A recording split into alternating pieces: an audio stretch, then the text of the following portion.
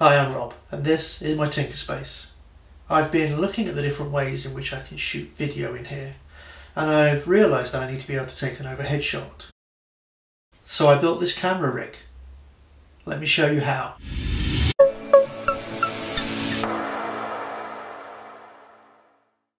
Here we are. This is my space and my well-travelled tripod. I can't put it on the mat, that's just ridiculous. To get a decent angle, I need to stretch the legs, but that just makes it too dangerous as the feet are very close to the edge. I do have a smaller tripod, that's got my smartphone holder in it, but that's in the way if I put it between me and the project work. Plus, it's not that stable. I can put the camera over to one side, but that means my hands come in at an odd angle, and I don't want to show you that. So here's what I'm using. 10 of these 90 degree bends, four of these T-shaped connectors, and this 20mm PVC conduit.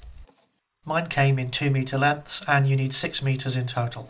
Then I need this quarter inch ball head camera mount, some M4 nuts and bolts, more conduit, in black this time, and some 20mm PVC pipe clips.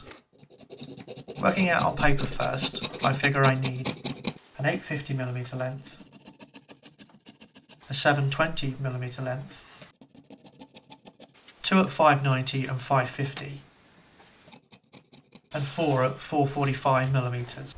Off camera I also cut six joining pieces at 40mm in length. The assembly works from the smallest length up to the longest like this.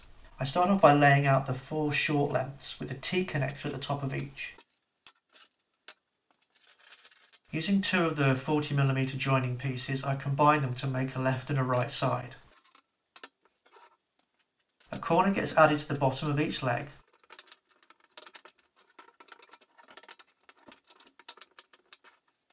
Then a connector and a corner on each of the outside edges.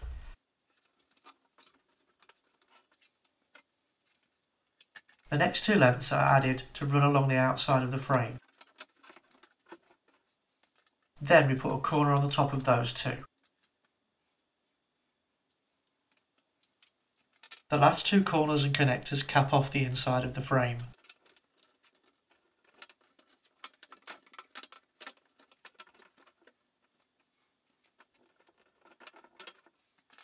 Finally, we join up the two sides with the remaining four lengths.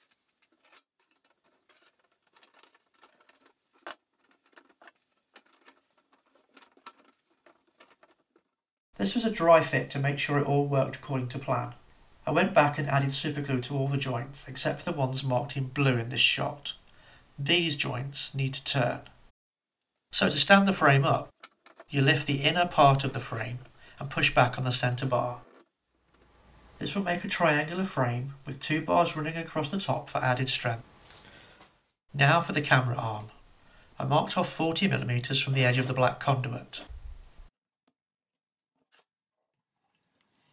Then poured some recently boiled water into a glass and sat the conduit in that for about a minute.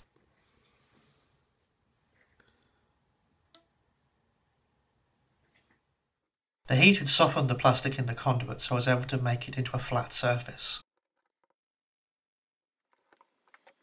I then made marks on the flat surface to line up with the holes in the camera mount. I drilled two 4mm holes and used some bolts to fasten the camera mount to the arm.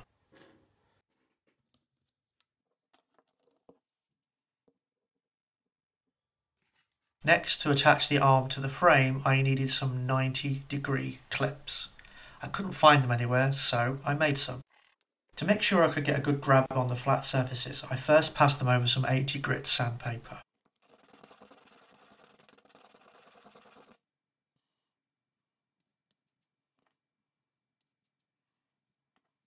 Then I just use an alcohol wipe to clean the surfaces of any residue.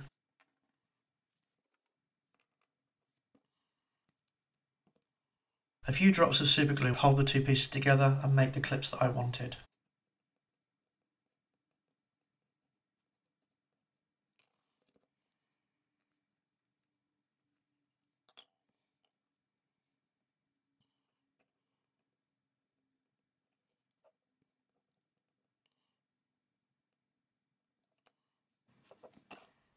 And here's how the camera arm fits to the frame. I attach my smartphone cradle to the camera mount.